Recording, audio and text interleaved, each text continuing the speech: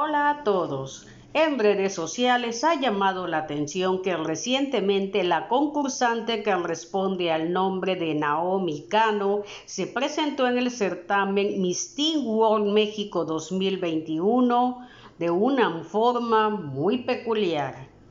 Comenzamos.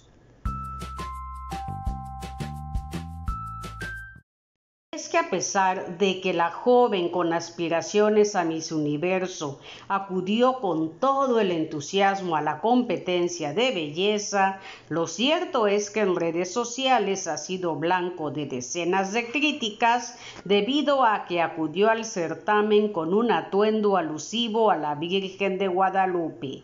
Y es precisamente a través de plataformas como Twitter que esta imagen ha circulado en donde se puede ver a la joven mexicana sonriente en una fotografía mientras posa con su túnica verde, un vestido color rojo, una corona y en pose idéntica a la que se puede ver en las imágenes religiosas de la Virgen de Guadalupe entre los comentarios de los internautas que han criticado el hecho de que esta concursante de belleza haya acudido a un certamen representando la imagen de uno de los más queridos rostros dentro de la religión en nuestro país. Algunas de las críticas en su contra señalan a Naomi como una persona que ha faltado al respeto a una religión, mientras que en otros comentarios los internautas se han lamentado que imágenes consideradas sagradas sean utilizadas para algo tan banal como la belleza y los certámenes. Por otro lado, algunos de los usuarios han mostrado el apoyo a la decisión de la joven, pues han destacado que la Virgen de Guadalupe es un rostro característico de México y que es digno de representar a nuestro país.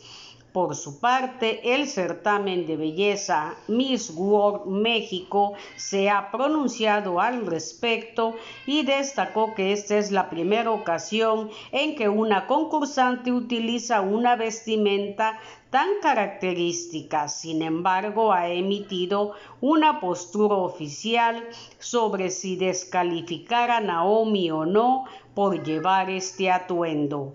Vale la pena recordar que Miss Teen World México 2021 es un concurso de carácter internacional cuya sede ha sido Ecuador, a donde acudió la representante mexicana y para hacer notar sus raíces decidió mostrar este atuendo alusivo a la guadalupana. Ok.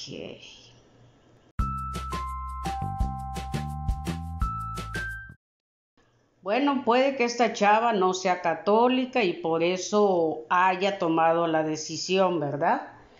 Y, yo tampoco soy católica, pero pues considero que sí es una falta de respeto a, la religión, puesto que la Virgen de Guadalupe está considerada como un símbolo nacional sagrado.